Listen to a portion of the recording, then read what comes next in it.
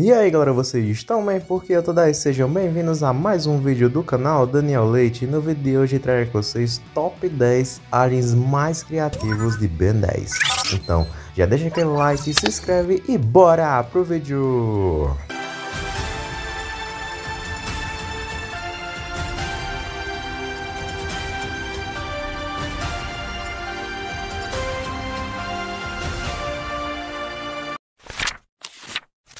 Agora, no passado eu meio que fiz um vídeo com esse mesmo tema, então esse aqui poderia ser considerado um remake. Talvez, de uma certa forma, é como se fosse uma versão atualizada né, para 2022 de um tema que já foi trazido no passado, né? Então, vamos deixar aqui bem claro de que é um top 10, mas não é uma ordem decrescente, tipo, do mais criativo ao menos criativo. Não, é só uma ordem aqui aleatória, uma lista de áreas criativos, beleza?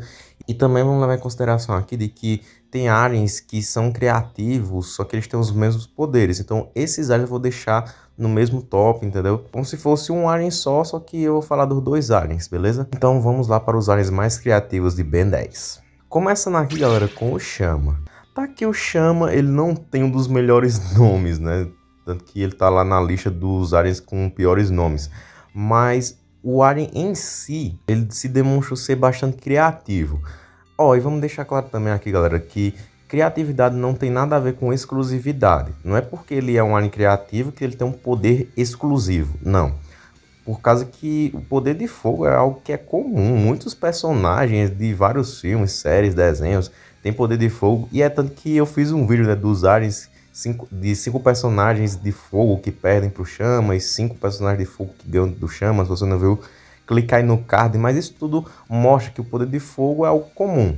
Agora, a maneira que o Chama utiliza os seus poderes de fogo aí é uma coisa que é diferente. Por causa que o Chama, ele tem em sua composição não apenas fogo, mas também plasma. Que isso deixa o fogo dele bastante poderoso e diferenciado, porque ele pode usar fogo em baixas temperaturas até embaixo d'água. Ele pode modelar o fogo dele para criar até shurikens de fogo. Ele tem um teletransporte de fogo, tá entendendo? Tipo, é a pirotransportação. Ele vai de um canto para o outro utilizando só o fogo. E não só a ele, mas também como outras pessoas, sem fazer com que elas sejam prejudicadas com calor. Até o poder secundário dele é criativo, né? A semi-geocinese, que ele pode controlar aquela rocha lá que ele usa para surfar que é como se fosse até uma espécie de telecinese que ele usa é muito interessante. E é claro o poder que faz jus ao nome dele no original, que é Heat Blast, que significa explosão de fogo, explosão de calor, que ele pode utilizar o fogo dele para explodir qualquer coisa, mesmo que essa coisa não seja necessariamente inflamável. Então, para mim, realmente o chama tendo um poder padrãozinho, né, que é um poder de fogo, mas os feitos dele mostram que não é tão padrãozinho quanto parece, né? Realmente ele usa de uma maneira muito criativa. Bom, o poder de tecnocinese não é algo que também é raro de acontecer. Muitos personagens podem controlar a tecnologia, mas da maneira que o Ultra T utiliza, cara, eu só vi ele. Eu não vi nenhum personagem que tem um poder parecido com um dele, não. Tipo, ele consegue incrementar nas máquinas, né? Tipo, ele se torna a máquina para depois poder aprimorá-la, entendeu? Isso é uma coisa que só ele faz, cara. Se você conhece um personagem que usa o poder esse poder do, do jeito do Ultra T, comenta aí porque eu não conheço não. Então para mim é muito criativo esse, esse negócio. Fora que ele tem mais poderes além disso, é por causa que o Ultra T, ele tem aquela questão, né, que ele tem mais parcela do bem do que outros áreas, ele é incompleto, né? Mas se ele fosse full blau, ele teria muito mais coisa, né? Tipo, ele poderia se transformar na máquina sem ter que incrementar primeiro, porque os mecamorfos galvânicos em si, a espécie do Ultra T é muito criativa, é porque eles nasceram de um erro, né? E o erro criou essa espécie muito massa aí no universo Ben 10.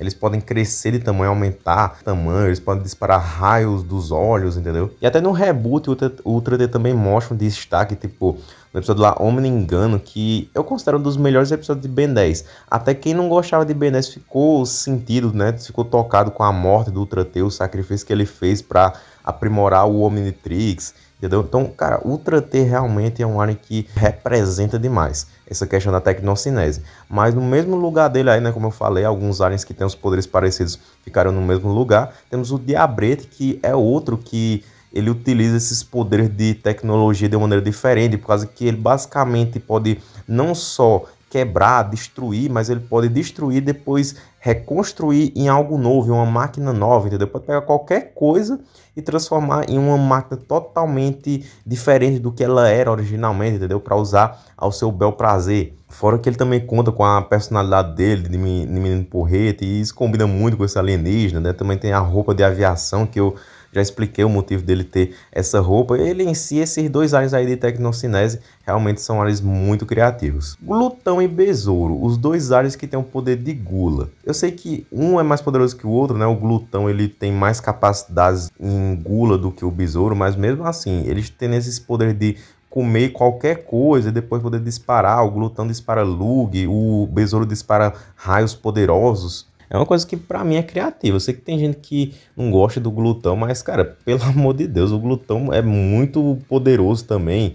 O cara poder comer qualquer coisa e depois disparar uma explosão com isso, né? Tipo, mano, a cena que ele come a subenergia, que é uma energia mais forte do que o sol, e depois ele dispara uma explosão assim muito poderosa. É algo assim que é marcante de ver em Ben 10, sabe? E esse negócio de criatividade é tanta que Antes, o glutão ele só poderia comer alimentos inorgânicos, ele não podia comer coisas como pizza, entendeu? Só que aí o Duncan Roleal ele fez um retcon nisso para poder comer sim outros alimentos, né, alimentos da terra para poder expandir a criatividade, entendeu? Então isso tudo já mostra aí que o Glutton tem muito a oferecer para nós. E o besouro não fica de fora não, daqui, é como eu falei, ele é mais limitado, por exemplo, aquela máquina da Encantriz, ele disse que seria demais para o besouro comer, talvez o Glutton comeria aquilo ali, pode ser, né? Mas mesmo assim o besouro também tem a sua marca registrada, além daqui, ele em supremacia ele parecia um tirano, um robô, parecia um tubarão, ele tinha um chifrezão ali. A questão da regeneração, que é algo que poder baseado numa característica do animal que ele é baseado, que é o besouro, entendeu? Então, cara, os dois alienígenas realmente eles são sim criativos. Mega olhos. Ah, você olha para esse bicho aqui, aí você vê e fala: "Ah, ele deve ter poderes oculares, né? Visão de raio-x, visão de calor, visão ultravioleta. Não, ele não tem poderes baseado em poderes oculares, não. Mas sim, ele pode disparar raios lasers e através disso usar elementos diferentes. Tipo, ele pode disparar um raio laser normal, mas ele pode disparar plasma, ele pode disparar um raio congelante, ele pode disparar eletricidade, fogo, também uma gosma pegajosa, entendeu? Mano, isso tudo é criativo. Além, o próprio design dele também, ele ter olhos em vários lugares do corpo, mas o lugar que era pra ter, que era no rosto, ele não tem. E também tem orelhas de morcego, né? ele é baseado naquele monstro lá do Power Rangers, só que muito melhorado.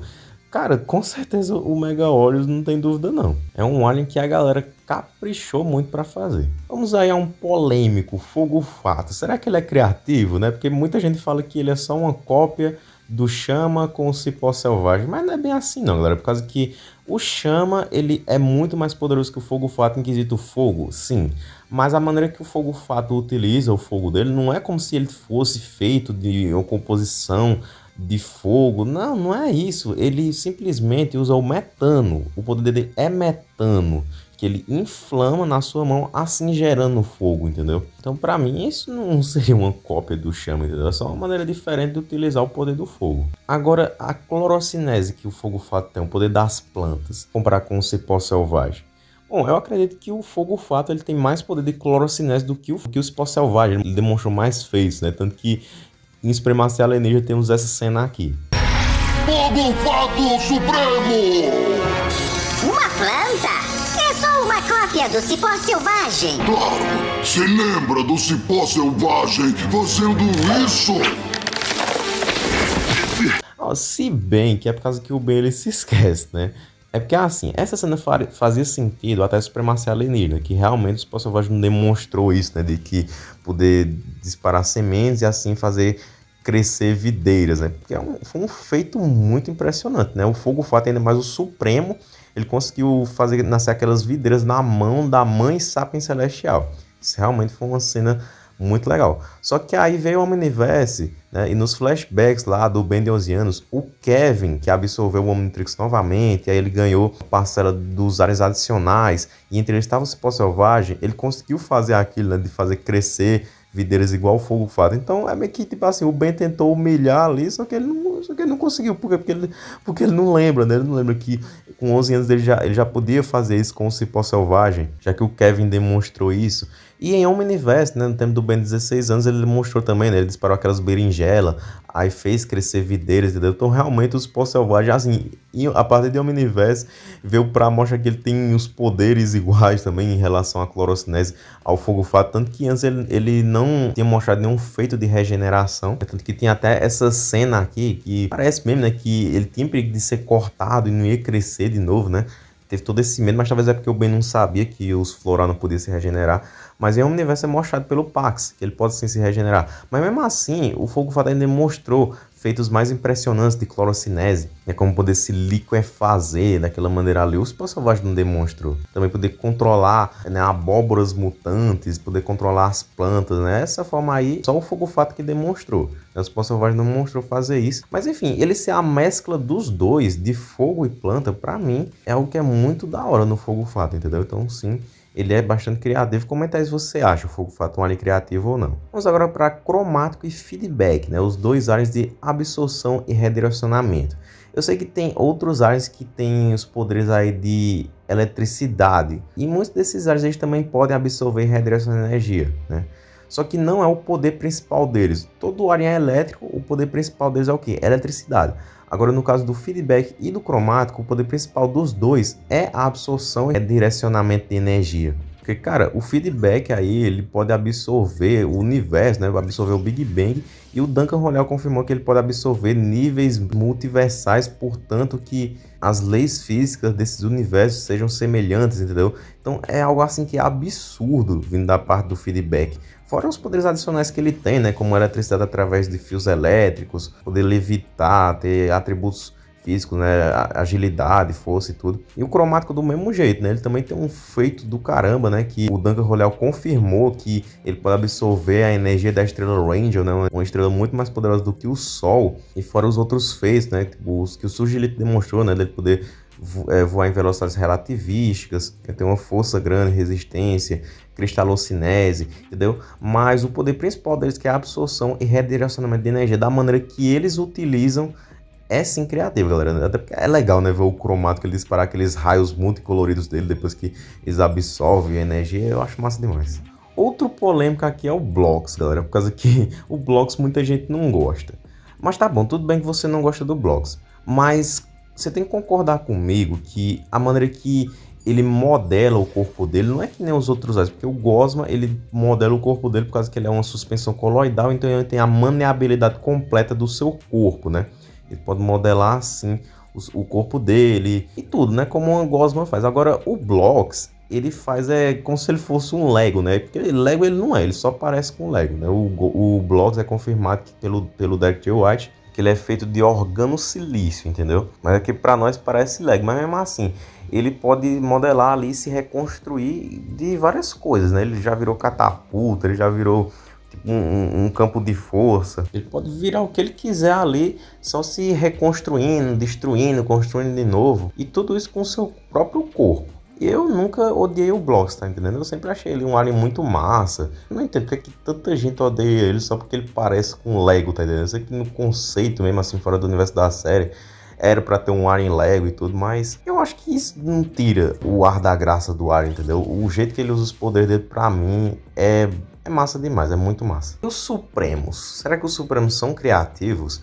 Eu escolhi dois Supremos para a gente considerar aqui no top de hoje, galera. Começando com o Enormossauro Supremo. Eu acho muito criativo, sim, a maneira que ele usa os poderes dele de disparar os mísseis. Tem muita gente que falar assim, ah, o Normossauro Supremo dispara mísseis, oh meu Deus, né? Tem gente que faz meme com isso, mas se você for ver o conceito, né, do pior cenário, aquilo tudo, né, que eu fazer a série de vídeos aqui do canal, que a gente considerar que no pior cenário possível, ele trocou o poder do Enormossauro convencional, que era utilizar os ossos dele para expandir e assim ter o poder de crescimento, ele trocou esse poder para poder transformar os seus ossos em fragmentos e assim dispará-los como mísseis. Eu acho esse conceito muito criativo, galera. Não sei vocês, mas para mim é uma das coisas mais criativas que eu já vi em Ben 10. Agora, mais criativo que isso é só o Friagem Supremo mesmo. Ele usa um fogo tão frio que queima, ou seja, ele usa chamas congelantes que absorvem a energia do alvo